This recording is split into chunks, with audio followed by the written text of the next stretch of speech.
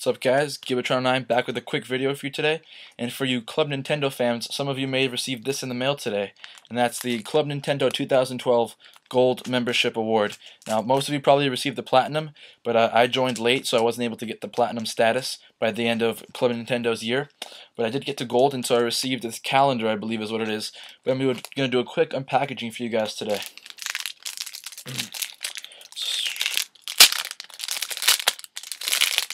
no scissors necessary. And I'll start off by showing you this little thing they included, which is a little figure of Mario with all of the days of the year for 2012.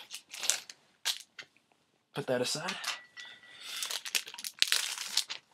And next we have a nice little sleeve that holds the calendar together, it looks like and it's cool. It's like a, it's like a separate carded calendar.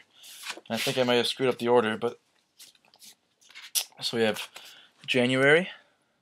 This is just Skyward Sword picture. February, which is Kirby. Uh, March. Uh, Pikmin. Star Fox uh, I guess it's Nintendogs and Cats. Yep, that's what it is.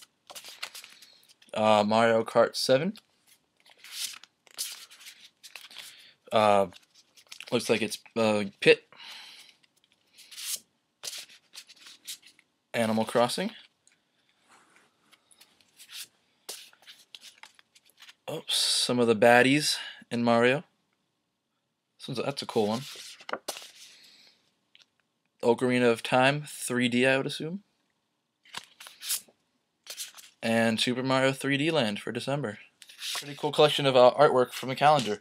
And uh, the interesting way this works is it has a little stand here. What you're going to do is, once January comes around, you'll put January in the front, slip it into your little stand, like so. And then there you're going to have it right there. Standing just like that. And they do have little things in the back for you to peel off so it works as a stand, but I think that's really fantastic. Especially just as a little thing to give you guys for being a supporter of Club Nintendo. So yeah, thanks a lot for watching, and we'll see you guys later.